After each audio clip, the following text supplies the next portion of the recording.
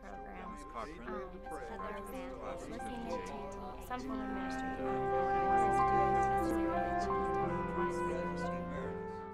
We're investing in those who have a passion to take the message of Jesus Christ to all the parts of the world. They'll make you work really hard, but you'll grow. That's what I would tell them. You would grow a lot and you would be challenged a lot. The biggest thing about CIU is how important it is for them to make sure that we know God through Scripture and that we have the tools to make Him known.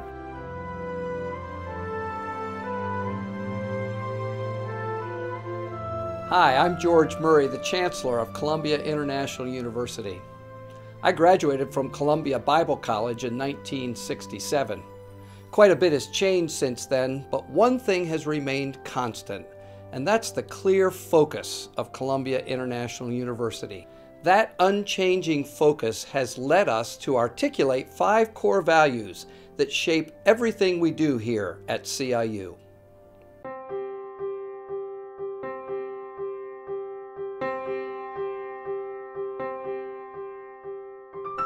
Our first core value is the authority of Scripture. God inspired human writers to give us His Word. Here at CIU, we're committed to accurately understanding what the Bible says and then applying that to every aspect of our lives. You have to have a deep, intimate prayer life to work with these guys, and you've got to you've got to know and handle the Word of God. They respect nothing I have outside of the Word of God.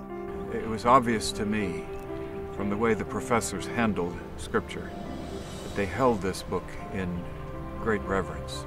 Our second core value is what we call victorious Christian living.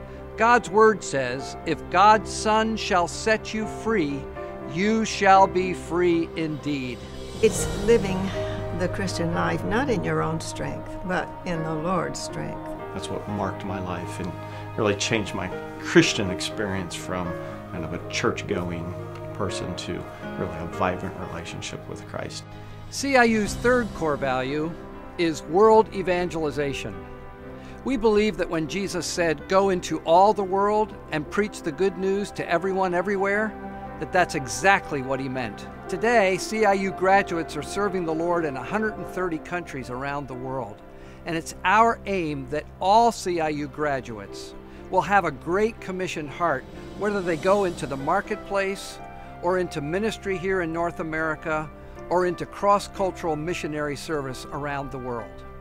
I hope to change the lives of my future students um, and that they would grow in their relationship with the Lord and come to know the Lord. If I could in some way help the, the least of these and the oppressed and the hurting around the world, my life will be worth it. Our fourth core value is what we call prayer and faith. CIU was raised up by God in response to a group of praying, believing people.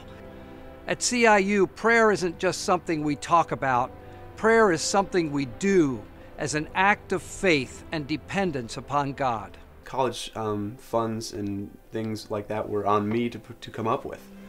And God providing that money through that scholarship was just um, an example of His faithfulness. I guess my most uh, vivid memories are when I was a boy in the 30s and they were buying the downtown property, the square block that had been Columbia Seminary, and we used it for the men's dormitory. I was just a kid, but I get excited every Thanksgiving as the banknote would come due, and at the last minute we might be you know, $5,000 short, 5,322, and often it would come in to the penny. Our final core value here at CIU is what we call evangelical unity.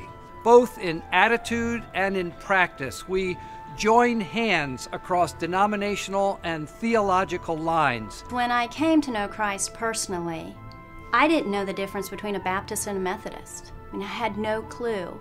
And I thought that that was a disadvantage, but I now know it as an advantage. The core of the gospel is what we're going to gather around and center our training on and be able to provide the greatest number of churches and, and ministries uh, Christ centered training under the authority of the Scripture. Here at CIU, We constantly think about Earth's 6.5 billion people. We think about the fact that 9 out of every 10 living in the world today are lost and outside of personal faith in Jesus Christ. We think about the fact that 2 out of every 3 have never once heard a clear explanation of the gospel. And we think about the fact that one out of every three people living in the world has no true believer living close enough to tell them about Jesus, even if they want to hear. In obedience to Christ's command to disciple the nations, it's our deep desire that every man, woman, boy, or girl living anywhere in the world has a chance to hear, understand, and respond to the gospel of Jesus Christ. I invite you to join us here at Columbia International University as we seek to know Christ and to make him known.